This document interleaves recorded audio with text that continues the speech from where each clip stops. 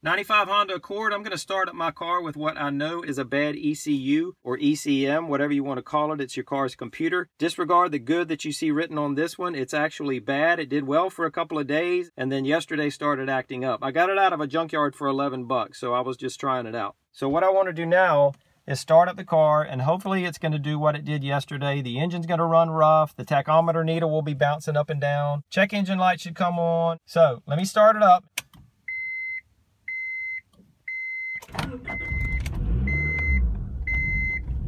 There we go. There's the check engine light. Red light up top's the seat belt, so disregard that. Let me shut it off.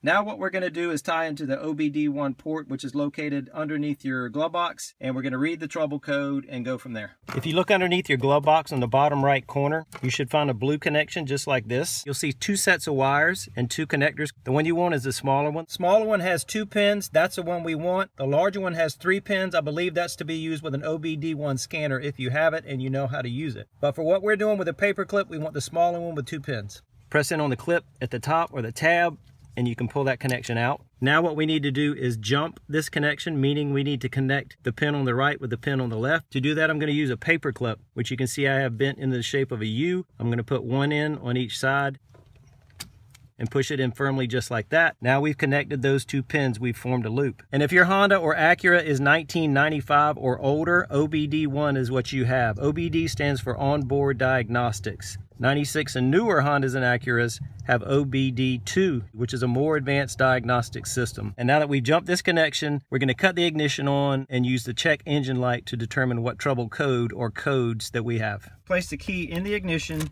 and turn it to the second position. Don't start the car, just two clicks.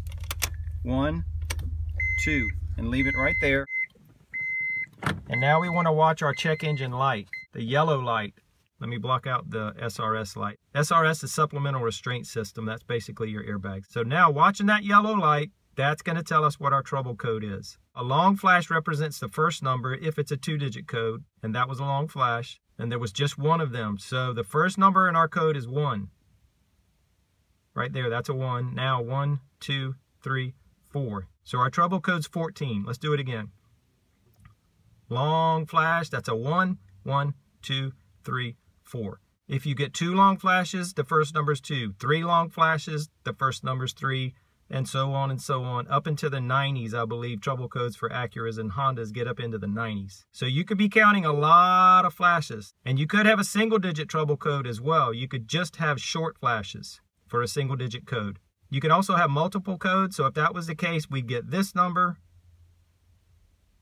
14. Then there would be an even longer pause followed by your second sequence of flashes for your second trouble code and possibly three trouble codes. It could keep going and going. But for us, we have one trouble code, which is a 14. And on this list of Honda and Acura OBD1 codes, 14 is idle air control valve or bad ECM. In my case, I know that I just swapped out the ECU that was in my car that was working fine with one that I was trying out to see if it was any good. Then I got that 14. So I'm going to go with the 14 telling me that this ECU is bad. So now I'm going to take that bad ECU out and I'm going to put the ECU back in that's been in my car for the last several years. And you'll see at that point that the car runs fine. And now that we're finished checking that trouble code, we can take this paper clip out of there and plug this back in where it was.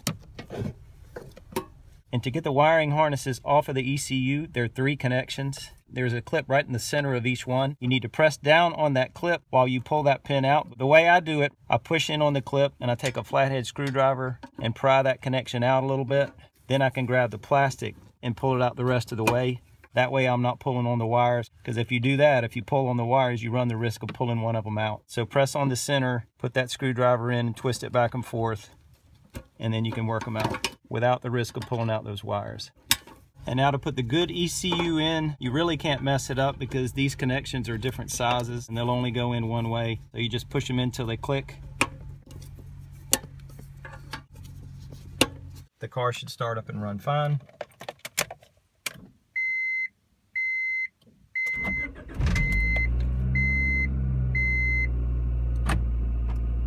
And thankfully it does.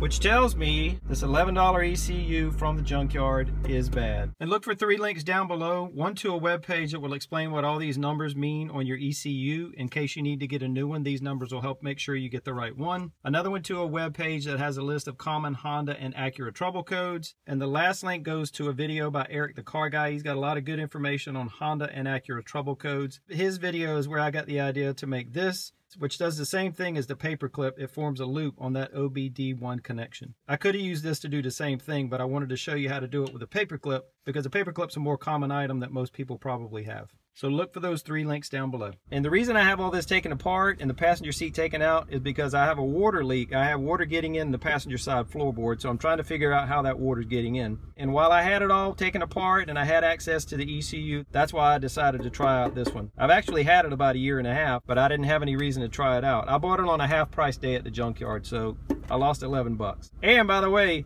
that's your TCU. That's a transmission control unit. Engine control unit, transmission control unit. Your car has two computers. Now it's not hard to get to these two, but if you don't know how, I have a video that'll show you. Look for a link to that video down below also. If you made it to the end, thanks for watching.